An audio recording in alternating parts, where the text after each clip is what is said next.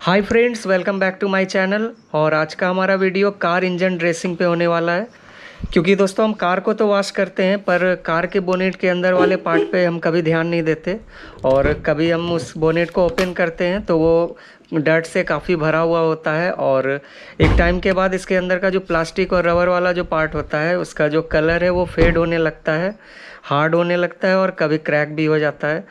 तो अब बोनेट के अंदर इंजन से रिलेटेड काफ़ी सारे पार्ट्स होते हैं, इंजन होते हैं और उससे रिलेटेड इलेक्ट्रॉनिक पार्ट्स भी होते हैं। जैसे कि battery, fuse box, air filter, horn, radiator, compressor, alternator. तो इनमें से कुछ काफ़ी सेंसिटिव होते हैं, जिसके कारण कि हम इसको बार बार पानी से वॉश नहीं कर सकते हैं। तो इसको वॉश करने के लिए मैं ये इंजन ड्रेसर यूज़ करूँगा।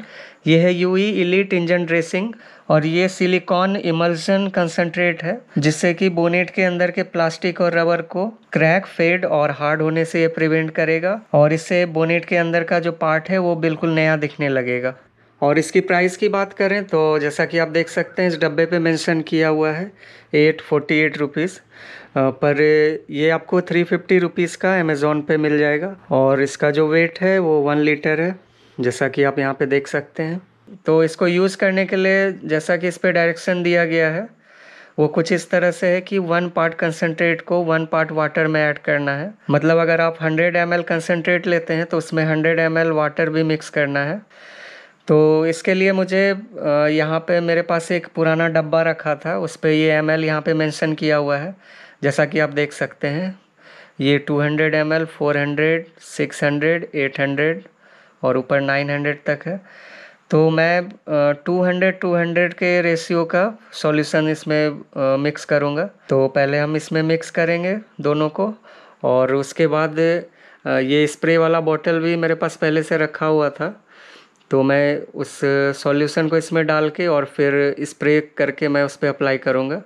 और आपको एक माइक्रोफाइबर क्लॉथ भी रखना है। इसको यूनिफॉर्मली अप्लाई करने के लिए उस पर तो पहले हम इसमें कंसनट्रेट 200 ml इसमें डाल देते हैं।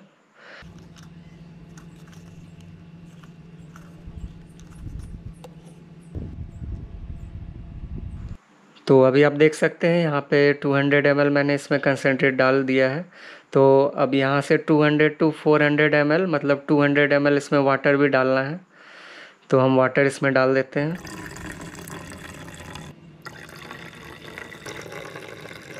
तो अभी टोटल 400 हंड्रेड का जो सॉल्यूशन इसमें तैयार हो चुका है तो इसको अब हम स्प्रे वाले बोतल में डाल देंगे।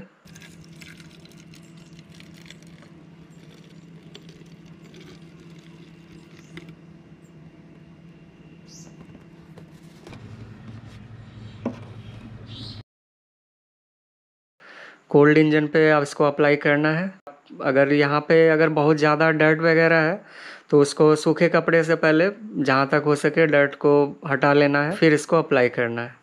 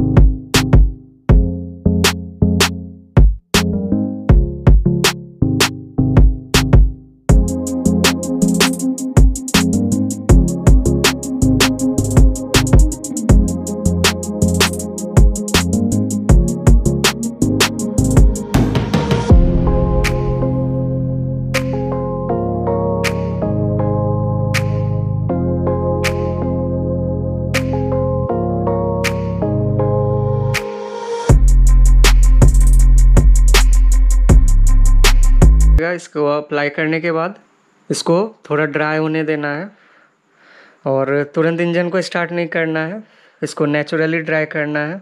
तो अभी आप देख सकते हैं, बिल्कुल नया जैसा दिखने लगा है, जैसा न्यू कार में होता है। और ये काफ़ी दिनों तक ये मेंटेन रहेगा और इसको लगाने के बाद जो इसके अंदर का जो प्लास्टिक और रबर का जो पार्ट है वो क्रैक फेड होने से बचेगा। और इसमें डस्ट वगैरह भी बहुत ज़्यादा अट्रैक्ट नहीं होगा। तो दोस्तों, आज के लिए इतना ही। उम्मीद करते हैं मेरी वीडियो आपको पसंद आई होगी। अगर पसंद आए तो प्लीज़ लाइक सब्सक्राइब और शेयर करना ना भूलें। तो फिर मिलते हैं अगले हफ़्ते एक नई वीडियो के साथ। तब तक के लिए थैंक यू